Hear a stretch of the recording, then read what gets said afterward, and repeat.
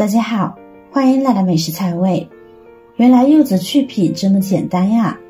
只需要一根牙签就能剥出我这么完整的柚子，简单快速，还没有白筋膜，大口多颐，叫你欲罢不能。肉质脆爽，清甜多汁，柚子就要这样吃，太爽了！赶紧跟着视频看看具体的操作方法吧。首先来看看方法一，买回来的柚子呢，把表皮擦拭干净。然后先把柚子的顶部切开，因为柚子的皮比较厚，所以我们每一次都要试探性的这样切开，直到能够看到里面的果肉就好。两边同样的方法操作，为了防止把果肉切坏，所以每一次切的时候呢，尽量薄一点，切成这个样子就可以了。接下来我们从柚子的中心处横向把柚子对半切开。然后取一半，任意选一个边，把柚子切开。注意切口要对准两瓣柚子之间的缝隙处。然后这样轻轻的将柚子掰开即可，这样里面的柚子果肉一小半一小半的就自动进行分离了。现在我们直接将果肉取出来就行，把皮往外扒一扒。然后下手轻轻拽出果肉即可。可以看到，取的过程中非常的简单快速，取下来的果肉非常的完整，没有任何的筋膜。像这种方式取下来的果肉，那么不管是老人还是小朋友，吃起来就都非常的方便了。没一会儿，一个柚子就完整的剥好了，很完整吧？而且非常快速。用来招待客人，简直不要太完美。上面没有了柚子的筋膜，吃起来也就不费力了。剥柚子的过程呢，确实是需要耐心的。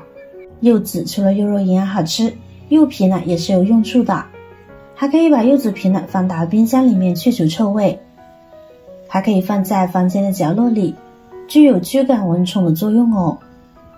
怎么样？今天给大家分享的剥柚子皮的方法还不错吧？不仅如此，我们还有妙招哦。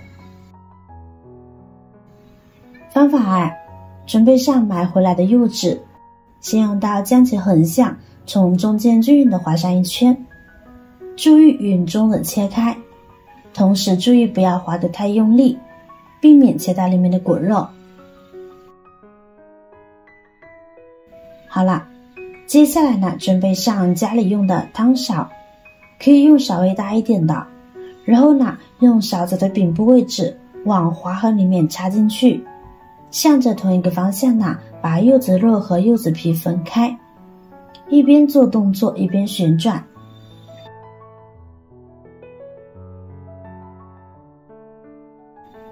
一边全部划通以后，再来处理另一半的外皮。我们也采用同样的方法将其划通，建议用圆润的勺子。这样不容易伤到里面的果肉。手力大的朋友呢，可以像我这样拿住两头，然后旋转两下，就这样转两下，腾的一下，柚子皮就下来了。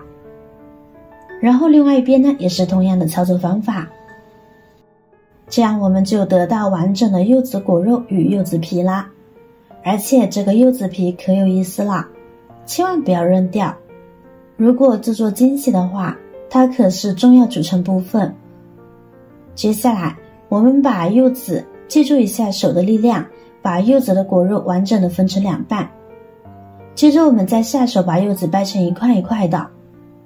全部掰好以后，准备上一根牙签线，我们把柚子皮划个开口。